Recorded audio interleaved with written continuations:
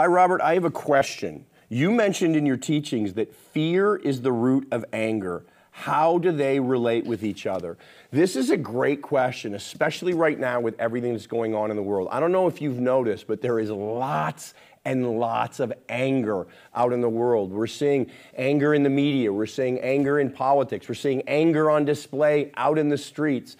Well, to really understand anger and why there's so much of it in the world and why there's so much of it in the spirit, we need to be aware that fear is the root of it. Now, fear is the granddaddy of all negative emotions. Fear is the granddaddy of all ungodly emotions. And we see it right there in Genesis 3, verses 8 through 10. Let's take a look at that scripture. It says, they heard the sound of the Lord God walking in the garden in the cool of the day. And the man and his wife, talking about Adam and Eve, hid themselves from the presence of the Lord God among the trees of the garden.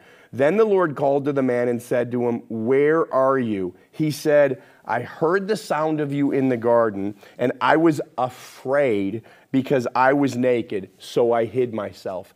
Adam is saying, I was afraid because I was uncovered. I was afraid because I was separated from you. Fear is the granddaddy of all negative, ungodly emotions because fear indicates that in this situation, we have chosen to separate ourselves from God. We have chosen to take ourselves out of God because in God we're covered. In God there's always peace available to us.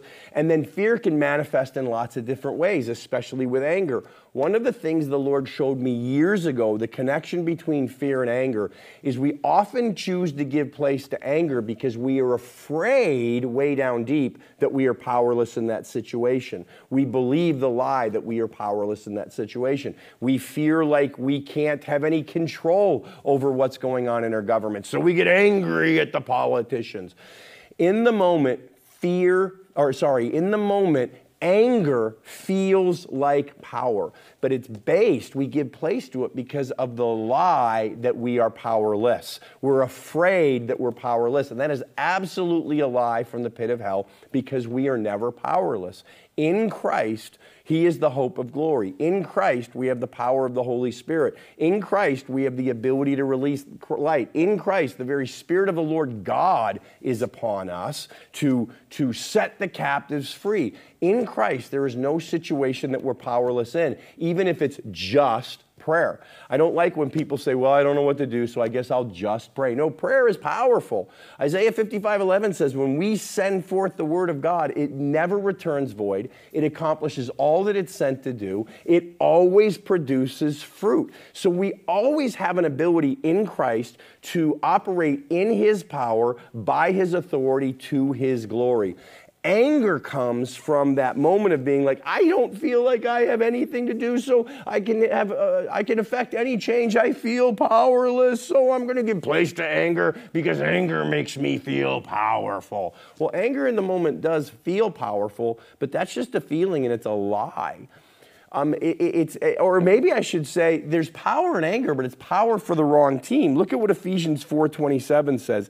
Anger gives a foothold to the devil. That's why the devil lies to you in a situation and says, Oh, it's too big for you. You are but a grasshopper in the eyes of the giants that I have placed in the land. You should be afraid. You can do nothing. That's a lie.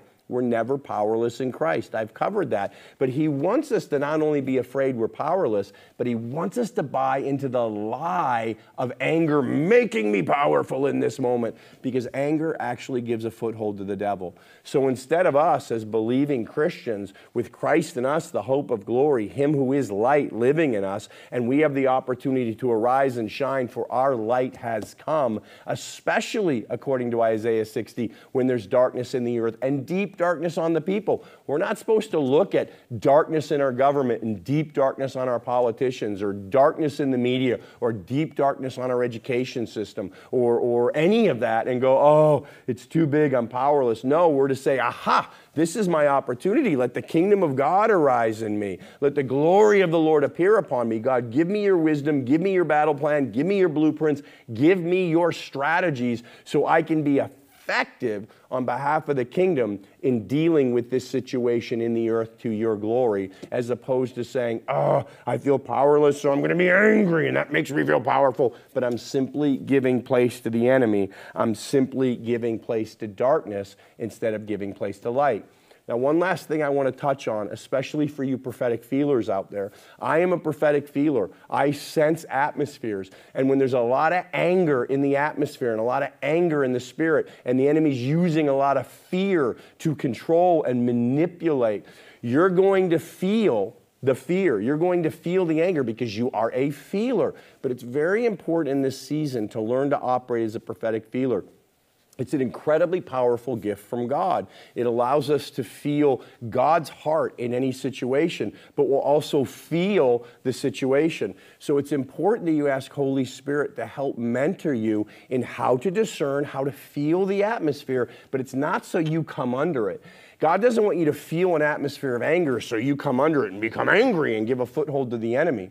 Or God doesn't want you to feel when there's an atmosphere of fear or a spirit of fear that has been literally released into the earth right now so that you become afraid. He wants you to be able to feel it and discern it so that you can come up above it in Him and deal with it.